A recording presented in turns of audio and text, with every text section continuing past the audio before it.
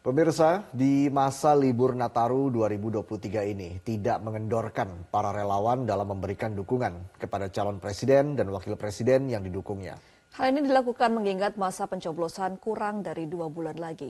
Berikut selengkapnya dalam Election Flash untuk Anda.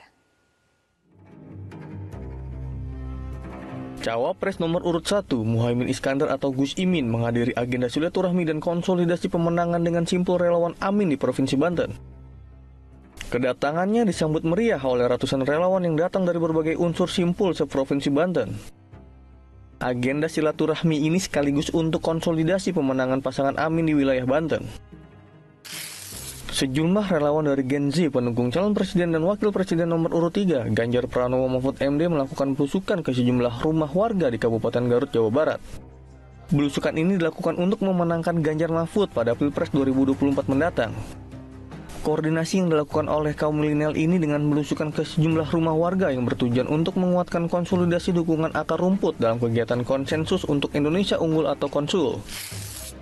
Relawan Gibran Berkopiah menggelar deklarasi dukungan kepada paslon nomor urut 2 Prabowo Gibran di Kuta Kabupaten Badung, Bali.